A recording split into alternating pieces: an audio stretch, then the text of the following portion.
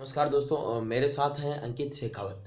और ये बोल रहे हैं कि, सर, मुझे कुछ बताना है इसके बारे में। ये मेरे एक अच्छे दोस्त भी हैं और जयपुर से हैं। ये जयपुर में इनका प्रॉपर्टी बिज़नेस है। ये कुछ बताना चाहते हैं कि, सर, मैं ये कंपैरिजन आपकी डिफेंस में और अदर डिफेंस में करना चाहता हूँ।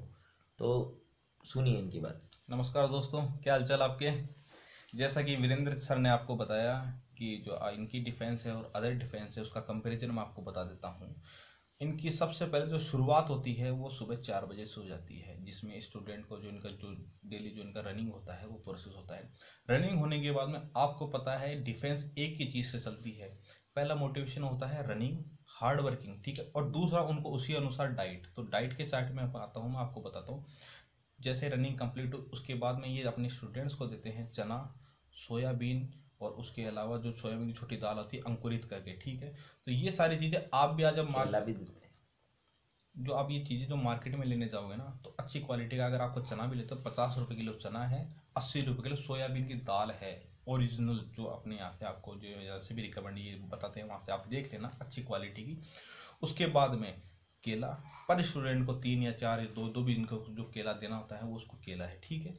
उसके बाद में आप आ जाइए इनके दो घंटे बाद में दूध और दलिया। दलिया जो यहाँ की इनके जो खरीद जो दली की होती है, जो गेहूँ जो होता है, वो गेहूँ इनके जो प्रॉपर इनके गाँव से होता है काश्तकार जो पैदा करता है, अच्छी से इक्कीस सौ या बाईस सौ रुपये क्विंटल का जो गेहूँ है, वो गेहूँ होता है। अदर डिफेंस आपको जो गेहूँ देगा, वो देगा राशन वाला गेहूँ, जिसकी कीमत होती है तेरह से चौदह सौ रुपये पर क्विंटल, जो मेरा पर्सनल जयपुर की लगभग मैंने फिफ्टी से सिक्सटी परसेंट जो मैंने जाके देखी है, उनके मतलब एक्चुअल खाना जो यही होता है, ठीक है?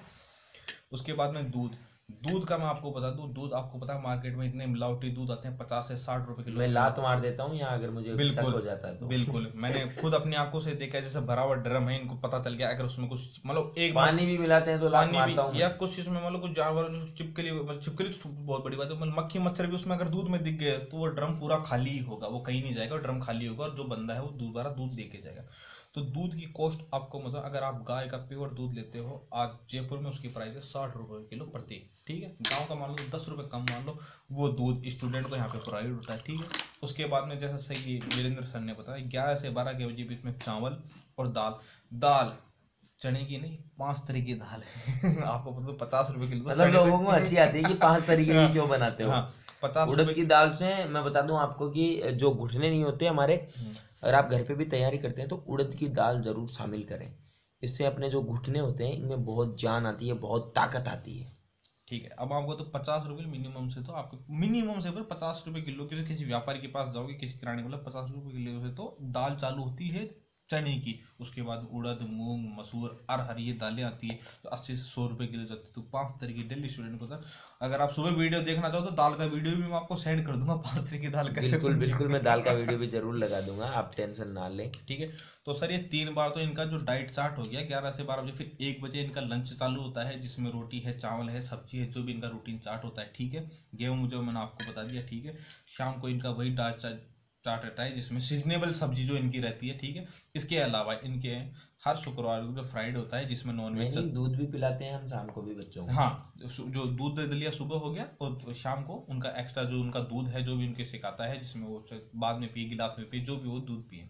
इसके अलावा हर फ्राइडे को जिसमें नॉन वेज चार्ट होता है वेज का अलग चार्ट है। जो वेज खाएगा उसके लिए स्पेशल बन जाएगा। पनीर की सब्ज़ी। हाँ पनीर मटर पनीर की जो ये सब्ज़ी बनाते हैं वो इसकी स्पेशल बन जाएगी। बाकी नॉन वेज में अंडा चिकन और मटन इसका रूटीन बाई रूटीन आता रहता है। तो आपके आपको टाइम पे पता है? अंडा भी आप मार्केट में लेने जाओगे अच्छा क्वालिटी का अंडा है छः रुपये से अंडा चालू होता है और एक सौ अस्सी रुपये किलो से चिकन चालू होता है साढ़े चार सौ रुपये किलो मटन आता है जो ये सारी चीज़ें प्रोवाइड करता है ओनली साढ़े सात हज़ार रुपये में।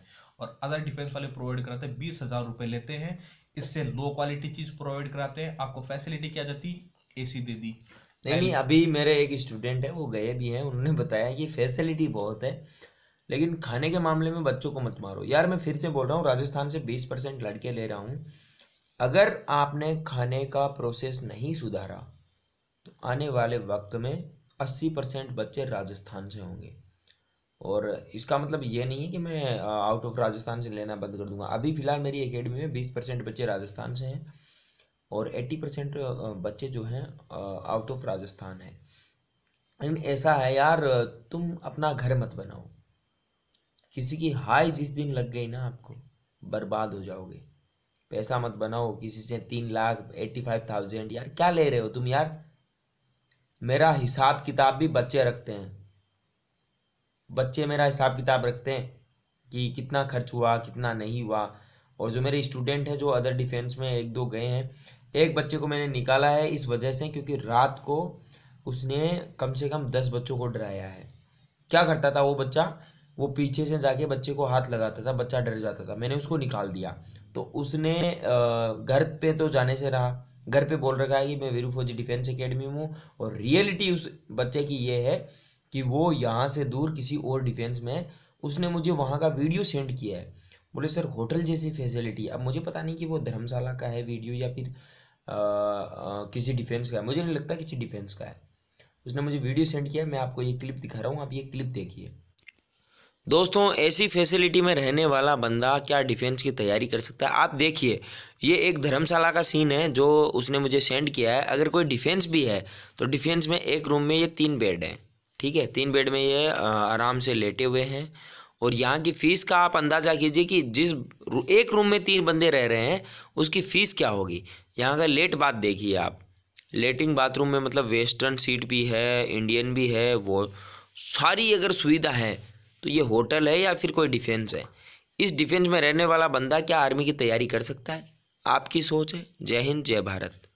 और ये अंकित मेरा दोस्त है और एक जयपुर में काफ़ी डिफेंसों में ये घुमा भी है। इससे भी आप पूछ लीजिए कि मेरा प्रोसेस कैसा है।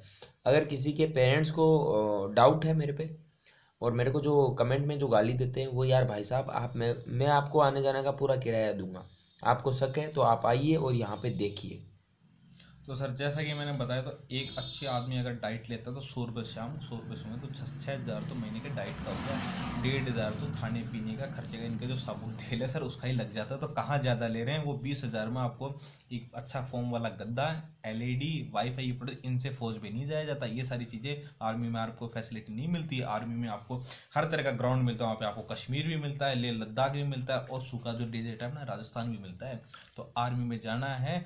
तो ओरिजिनलिटी जो है, जो मिट्टी की जो ओरिजिनलिटी उस पर आप ग्राउंड पे रहो और उसके लिए मेहनत करो। फैसिलिटी के लिए मत मांगो। माँ बाप से बीस हज़ार रुपये लेकर अच्छी डिफेंस में जा रहे हो तो ये माँ बाप से पूछो कि बीस हज़ार